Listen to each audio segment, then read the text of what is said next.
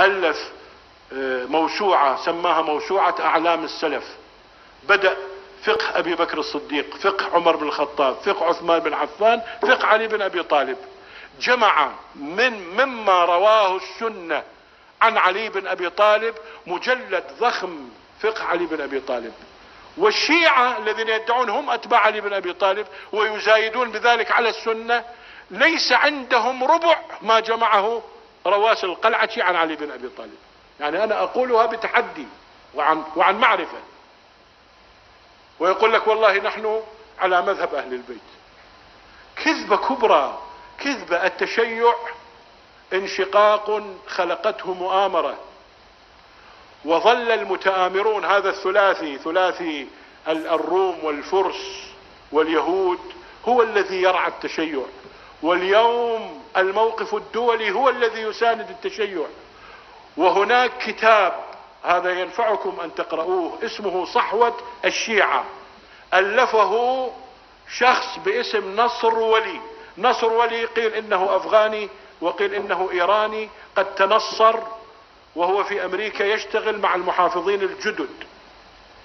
جماعة آه، رامسفيلد من جماعة رامسفيلد في أيام بوش كتب هذا الكتاب أسماه صحوة الشيعة.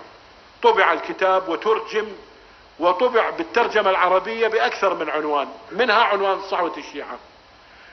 أعضاء في الكونغرس الأمريكي طردوا هذا الكتاب وأنا قرأت تقريضاتهم وأحدهم قال من يريد أن يتعرف على الاتجاهات المستقبلية للسياسة الأمريكية عليه أن يقرأ هذا الكتاب.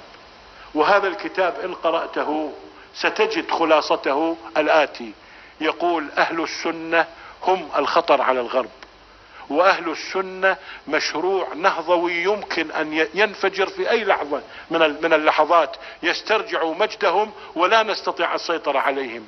فمن أجل ضربهم لا بد من ضربهم. يقول لا بد من ضربهم لا بد من إضعافهم.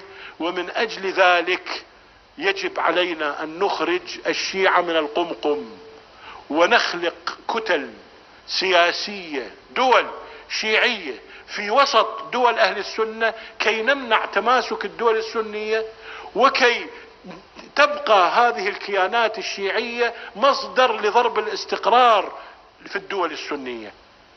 هذه هي سياسة الغرب. اليوم التحالف أنا أسميه تحالف الصادات الثلاث. الصليبية والصهيونية والصفوية. التقت مصالحهم ضد أهل السنة والجماعة. وهؤلاء الغرب يرعى يرعى التمدد الشيعي. اليوم أي عمل دعوي بسيط يوصف بالإرهاب إذا كان من أهل السنة والجماعة.